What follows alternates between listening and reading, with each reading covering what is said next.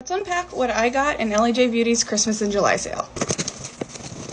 Something that Nikki at Elli J Beauty does really well, she packages all of her products in such a way that I have never had anything come to me damaged, ever. I technically placed two orders.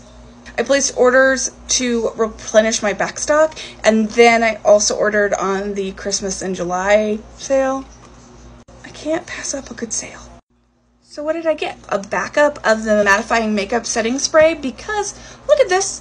Look at this. This makeup is going on 12 and a half hours since application and it hasn't worn off, rubbed off, sweated off. The humidity hasn't touched it. Honestly, it's because of this thing. The Universal Primer, I use this every single time that I put on makeup. Every single time. What else do I use every single time I put on makeup? Her Baked Setting Powder.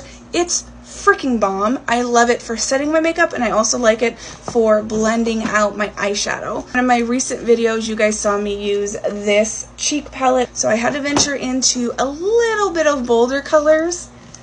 Look at that. Look at that. I can't wait to play with that. I can't wait. And then of course she spoils you with some extras. I love these scrunchies. They're the best. The things I got in the Christmas in July sale is I replenished my nude lip liner. I got myself a backup because this thing is getting little.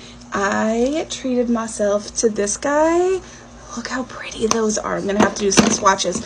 Also, I got this guy because I thought First of all, it has some great basics in there, and those reds will be perfect for Louisville football season. There was another new launch recently, and she launched a version of her setting spray that was a glow spray. I didn't venture into that one, but I did venture into the finishing spray because I am thinking between my setting and my finishing spray, this makeup isn't going absolutely anywhere. The other fun thing is a glow off powder. Look, look at that. It is so pretty.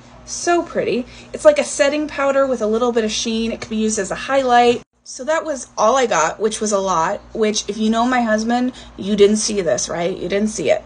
I mean, technically it was on sale, so I saved money, right?